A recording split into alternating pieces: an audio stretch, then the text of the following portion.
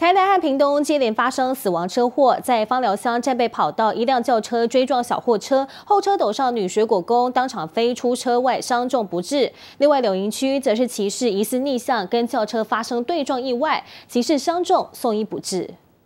救护车十万火急抵达现场，轿车停在旁边，骑士倒在地上，救护人员赶紧下车，马上急救，同时将他抬上担架，火速送往医院。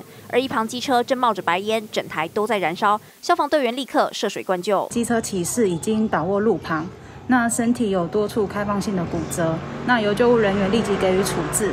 那消防车同时出水线，对于起火机车进行灭火作业。当时一对夫妻开车返乡回家，经过台南柳营区，骑士疑似逆向，竟然和他们对撞，撞击力道强大，骑士喷飞，机车瞬间起火。撞击驾驶人经送医抢救后宣告死亡。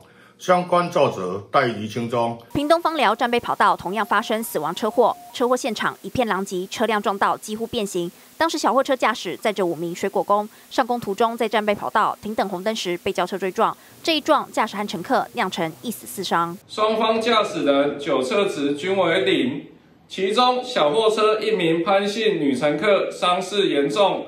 送医抢救后宣告不治。当时潘姓女水果工就坐在小货车后车斗，车祸当下整个人飞出车外，才会伤重不治。小货车驾驶后车斗违规载客，依法可罚最高一万八千元。开车上路除了注意路况，也别违规，否则发生车祸后果不堪设想。记者台南屏东综合报道。